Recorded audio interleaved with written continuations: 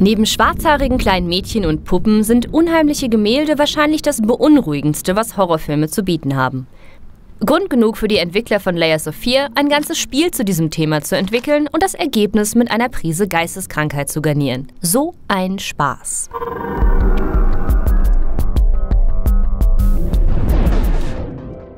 Es hätte so schön sein können. Victor lebt als gefeierter Maler mit seiner Familie in einem wunderschönen viktorianischen Herrenhaus, umgeben von Kunst und Kultur. Doch nach einem verheerenden Unfall verliert er alles. Zu Beginn des Spiels finden wir uns als Maler völlig allein und mit Holzbein in der Villa wieder. Was ist passiert? Auf der Suche nach Antworten streifen wir in Schrittgeschwindigkeit durchs Haus und erkennen langsam, dass wir vielleicht nicht ganz unschuldig am Verschwinden unserer Bilderbuchfamilie sind. Neben Gattin und Nachwuchs scheinen wir nämlich auch unseren Verstand verloren zu haben. Trauer, Alkohol und eine nicht diagnostizierte Schizophrenie machen den Spaziergang durch das Anwesen zu einer Mischung aus der legendären PT-Demo und einem Stephen King-Roman. Auf den ersten Blick scheint alles ganz normal. Aber irgendetwas stimmt ganz und gar nicht. Beispielsweise tauchen auf einmal Bilder hinter uns auf, wenn dort eigentlich eine Tür sein sollte. Und der Raum, der vorher so gemütlich von einem Kaminfeuer erhellt wurde, wird zu einer halb verfallenen Kammer inklusive Poltergeist. An der Szene selbst ist eigentlich wenig bedrohlich. Schließlich jagt uns niemand mit einer bluttriefenden Axt durchs Haus.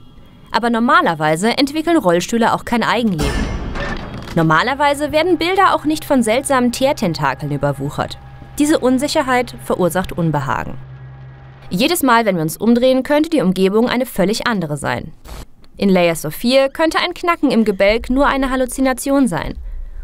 Oder es ist der rachsüchtige Geist unserer verschwundenen Frau, nur Zentimeter von unserem Gesicht entfernt. Je weiter der Künstler in seinen Wahnsinn abdriftet, desto extremer werden die Ereignisse. Was mit einer flackernden Glühbirne beginnt, endet mit schaurig verunstalteten Bildern, Labyrinthen aus mit schwarzem Teer verstopften Fluren und jeder Menge wirklich gut inszenierter Schockelemente. Horror ein Großteil der Spannung entsteht in Layers of 4 jedoch unterschwellig. Wir verbringen sehr viel Zeit damit, Schränke und Schubladen zu öffnen, dort nach Hinweisen zu suchen, Bilder zu betrachten und Zeitungsartikel zu lesen. Das ist an sich keine spannende Aufgabe. Dass wir als Spieler trotzdem angespannt auf der Sofakante sitzen bleiben, liegt auch an der großartigen Soundkulisse. So unangenehm die verstörenden Bilder und surrealen Kulissen auch sein mögen. Ohne die Musik wirkt das Spiel in großen Teilen wie ein Rundgang durch ein avantgardistisches Museum. Mit den Geräuschen baut Layers of 4 eine Spannung auf, die komplett ohne abgetrennte Gliedmaßen, Zombies oder Dämonen funktioniert. Wir haben konstant das Gefühl, verfolgt zu werden, obwohl niemand da ist. Zumindest meistens. Layers of 4 ist nichts für Slasher-Fans, die von einem irren Killer gejagt werden wollen. Wer sich aber, am besten mit einem paar Kopfhörer, auf die Atmosphäre einlässt, wird sechs Stunden lang auf Trab gehalten. Das Haus hat viele detailreich gestaltete Räume, die Rätsel sind teilweise sehr anspruchsvoll und die Geschichte um den Maler und seine Familie ist ebenso spannend wie tragisch. Wer Kunst bis jetzt immer eher langweilig gefunden hat, wird sie nach Layers of 4 mit anderen Augen sehen.